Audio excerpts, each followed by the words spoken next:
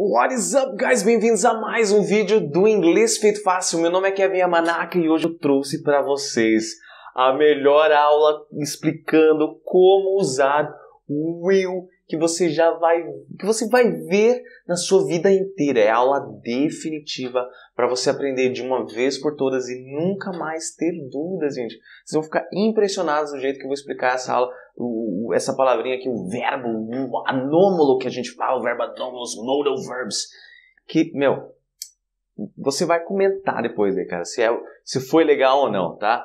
Então, gente, qual que é o segredo do will. Não é ficar explicando que ele é um verbo, que é um modal verb, que é um verbo anômalo, que ele modifica o próximo verbo, que, que ele sempre vem acompanhado. Nada!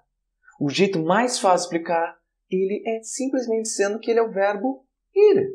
É o verbo ir. Só que é o verbo ir em somente duas situações. Ou no futuro, ou no presente. E qual que é o verbo ir no presente? Eu vou, tu vai, ele vai, nós vamos e tudo mais. E no futuro, eu irei, ele irá, nós iremos, eles irão, tá? Então é basicamente isso. No presente ou no futuro, o verbo ir. Duvida? Então vamos lá ver como utilizar o will para falar do futuro, simplesmente traduzindo ele como verbo ir. Só isso, não precisa mais nada. Eu traduzo o resto diretão mesmo. Bora lá? Primeiro exemplo. I will survive. Will survive. Okay? Então, I will survive. Eu irei sobreviver. Pronto, tá aí, tá, tá falando do futuro. Eu irei sobreviver. Ou você pode falar no presente, eu vou sobreviver. Não tá falando do futuro? Pronto, acabou. Agora não. O pessoal, como que o pessoal explica? Ai, então você vai pegar o, o eu, ele vai modificar, o, o survive vai modificar, o sobreviver vai ser eu sobreviverei. Mano, para, é só traduzir como ir. Mas olha só, o pulo do gato aqui. Pega o irei, certo? Tira o ir. E aquele, aquela a, a conjugaçãozinha, o ei, joga na frente do próximo verbo. Eu sobreviverei. Ok? Eu irei, eu sobreviverei. Olha como funciona, gente.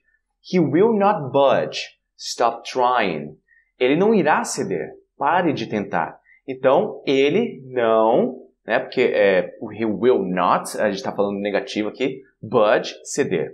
Stop trying. He will not budge. Então, você pode dizer ele não irá ceder, ele não vai ceder, ou ele não cederá. Irá, cederá. Pronto, tá aí. Esse é o eu, gente. No futuro é muito simples. Mais exemplos, mais muitos exemplos. She will make history. You see. Ela irá fazer história. Vocês irão ver. You see. Olha lá, ali tem mais um will na segunda parte, tá, gente? Eu deixei abreviado, que aquele apóstrofe LL é o will abreviado. Então, she will make history. Ela irá fazer, ou ela irá, ou ela vai fazer, ou ainda ela fazerá história. Mas ninguém em português fala ela fazerá história. Vocês verão. Ninguém fala assim. A gente fala você vai ver. Ela vai fazer. Ela irá fazer. Pronto. A gente tem que falar do jeito que o americano fala. A gente tem que traduzir do jeito que a gente fala. Então o jeito mais simples de aprender o eu é dessa maneira. Agora vou falar um pouquinho mais baixo, tá, gente? Porque eu estou muito gritando. Mais um exemplo. We don't like you, but, uh, but we'll help. Né? Então, nós não gostamos de você, mas iremos ajudar ou nós vamos ajudar. Então qual que é o finalzinho ali? Emos, né? Nós, mas ajudaremos. Olha que fácil, gente. E funciona sempre, garantido, toda vez dá certo. Seeds will germinate, plants will grow, and this wasteland will live again. Então, sementes, seeds, irão germinar, ou germinarão, ão, ali ó, do irão. Plants will grow. Plantas irão crescer, ou plantas crescerão, ou plantas vão crescer. And this wasteland will live again. E essa terra desolada irá viver, vai viver, viverá novamente. Olha só. Gente, não tem, não tem erro. É só traduzir como verbo ir, no futuro ou no presente. They won't hurt you. Don't worry. They won't hurt you. Don't worry. Eles não irão machucar você. Não se preocupe detalhe para o won't, que é o will mais o not, abreviado, né? Então lá o segundo exemplo, he will not budge. Você pode usar he won't budge do mesmo jeito. Então, eles não irão machucar você. Eles não te machucarão, eles não machucarão você. Eles não vão machucar você. E último exemplo, you need this. Trust me. Vocês ou você irá ou irão precisar disso. Acredite, né? Porque o you no inglês pode ser você ou vocês no plural. Então tem as duas possíveis traduções. Então, dependendo da ocasião, dependendo do contexto, vai traduzir como vocês ou vai traduzir como você, né? Então, vocês precisarão disso, vocês vão precisar, vocês irão precisar disso. That's it. Então, é assim que usa futuro no, no, no inglês, gente. Muito simples. Pega o will, traduz como ir, acabou. Mas assim, tem um detalhezinho. Quando você vai fazer perguntas no futuro, o will ele serve como auxiliar, pá, mas não vamos entrar em detalhes. O will, o que, que a gente faz? A gente joga ele lá na frente, joga lá no começo aqui o começo, né, na esquerda, lá no começo da frase. Então, por exemplo, Will you forgive me? Will you forgive me? Então, você irá me perdoar. Né? O will, você vê que está antes agora. Você joga lá para o começo da frase. Beleza? Então, você irá me perdoar. Você me perdoará. Você vai me perdoar. Won't you stop? Você não irá parar? Você não vai parar? Você não parará? Detalhe para o monte de novo, will not. Não tem problema, joga lá no começo, beleza? Mais um exemplo. Won't you believe me? Você não irá acreditar em mim? Você não vai acreditar em mim? Você não acreditará em mim? Will they ever change? I, I think they won't. Agora, esse, eu coloquei ali um entre parênteses, tá? Os próximos três. Porque dá ideia e fica até um pouco estranho. Agora eu vou te explicar para vocês, tá, gente? Eles irão mudar um dia? eu acho que eles não irão mudar. Gente, como a gente não fala assim em português, tá? Gente, eles irão mudar um dia? Nossa, tipo, de ponderação, tipo, oh, a gente não faz isso em português. O que, que a gente fala? A gente usa o será, se, putz, se fizer, será que é isso tal? Então a gente vai usar, será que eles irão mudar um dia? Será que eles vão mudar um dia? Será que eles mudarão um dia? Eu acho que eles não vão, não. Eu acho que eles não vão mudar. Eu acho que eles não irão mudar. Eu acho que eles não mudarão. Beleza? Mais exemplos. Will he like you? Will he like you? He'll love you. Tipo, será que ele vai gostar de você? Se ele vai gostar de você, ele vai te amar. Ele irá te amar, ele te amará. Alright? E último, will I be able to? Será que eu irei ser capaz? Será que eu serei capaz? Será que eu vou ser capaz?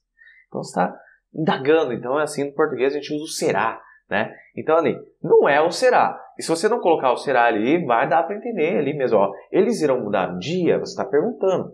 É, só fica um pouco estranho no português, mas ainda assim vale. Vale, ainda tem a mesma conotação ali. Se você traduzir sempre como ir, vai dar certo. Mas, mas, mas, mas, mas, a gente não vai embora porque ainda tem mais um detalhe. Will, hum, o will nem sempre funciona como verbo. O will nem sempre é ação. Ele pode ser uma palavra. E essa palavra normalmente se resume em vontade, que é a terceira parte da aula. Desculpa. Então, vontade ou desejo. Fora isso, ainda tem umas vertentes ali que a gente vai estudar um pouquinho. Como assim vontade ou desejo? Bora para os exemplos, vai ficar super simples. The will in your heart will make it happen. The will in your heart will make it happen. O desejo no seu coração irá fazer acontecer. Will make, né? Fazerá acontecer. Tipo, will make it happen. Tipo, vai, vai fazer acontecer o negócio. Tipo, vai dar certo, né? Então, will, o primeiro will, ele está funcionando como uma palavra simples, um substantivo que a gente fala, tá? Então, é o desejo significa desejo ou significa vontade. E no segundo ali, ele está funcionando como o normal, né? Falando do futuro. Will make happen. Vai fazer acontecer. Segundo exemplo. The government is not willing to help immigrants. Então o governo não está querendo, na verdade, desejando ajudar imigrantes. Então willing, tem até um ing ali no will também de a ideia é desejo, desejar também, beleza?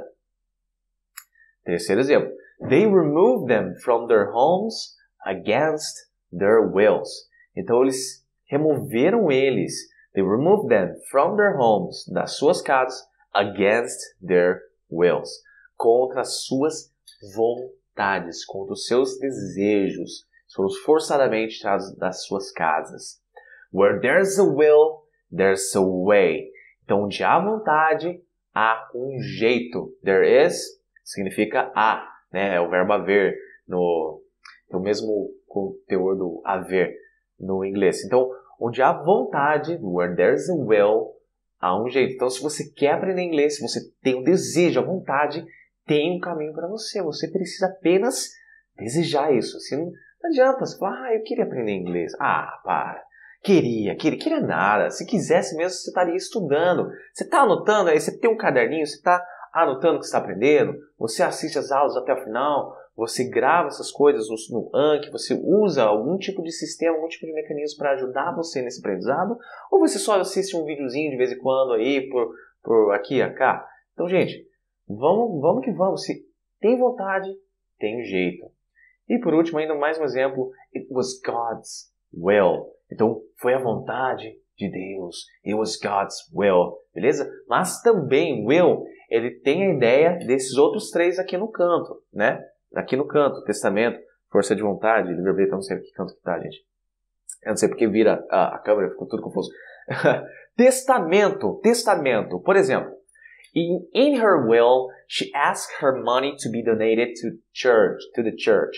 Então, no seu testamento, in her will, testamento dela, na verdade, né? Eu traduzi ele meio que genérico. Então, no testamento dela, ela pediu que o seu dinheiro fosse doado para a igreja. Mas olha só, testamento, você entenda a ideia de vontade. Então, qual era a vontade dela? A vontade dela era doar o, o dinheiro para a igreja. Ou seja, esse é o testamento dela, era a vontade dela em vida, antes dela, né, enfim, vir dessa para melhor. Então, segundo exemplo, he made a will days before his death. Então, ele fez um testamento dias antes de sua morte, certo? Então, é, ele, agora aqui não dá para falar que é vontade, né? É testamento mesmo, beleza? Segundo exemplo, força de vontade. Força de vontade não é will, mas é will power, poder da vontade, força da vontade. Então, the stronger your willpower, the better the results.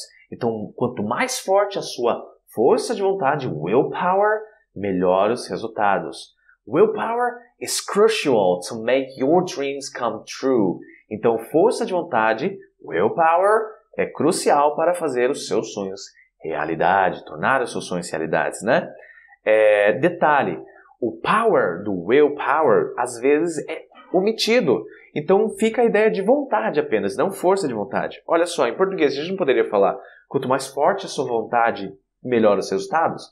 Então em inglês é a mesma coisa. The stronger your will, sem o power, the better the results. Então mesma coisa. E por último, livre-arbítrio ou liberdade de escolha. Olha só. To sum it up, they will take away your free will, livre-arbítrio, liberdade de escolha, and you will be screwed. Então aqui tem três will e dois é fala do futuro e um é de livre-arbítrio, que é o free will, livre, né? Freedom, liberdade, free, é de graça, de grátis, né? Ou livre, will, livre-arbítrio. Então, para resumir, to sum it up, they will take away, eles irão tomar o seu livre-arbítrio, né? Your free will and you will be screwed. E você vai estar ferrado. Screw, ferrar, entendeu? Tipo, ferrar alguém, screw that person. Enfim, não, não quero ferrar ninguém, não, gente. One of the principles of a democracy is the free will. One of the principles, um dos princípios of a democracy, de uma democracia, is the free will. Então, é a liberdade de escolha, ou o livre-arbítrio. Alright? And that is it, guys! That is it! Eu espero muito que vocês tenham gostado dessa aula. Tá até babei aqui. Porque, cara, depois dela não é possível você não entender, não poder usar o eu, não falar as coisas no futuro no inglês, porque é muito simples. Mil vezes mais simples, convenhamos, do que no português, gente. Olha só, tem, ó, falar pra você, cara, as regras de português, só Jesus na causa. O negócio, will é muito fácil em inglês, entendeu? Agora vocês já sabem, é só traduzir como eu, tá? Então não se esqueça de curtir o Facebook, se inscrever no Instagram, no, no, Instagram, no, YouTube e seguir o Instagram, gente. Lembrando sempre que aqui no Inglês Feito Fácil, o Cine Inglês acontece. Não esquece, não esqueça de deixar um comentário super especial aí dizendo se você gostou ou não dessa aula definitiva do Will, gente. Beleza? Muito obrigado e até uma próxima, gente. Tchau.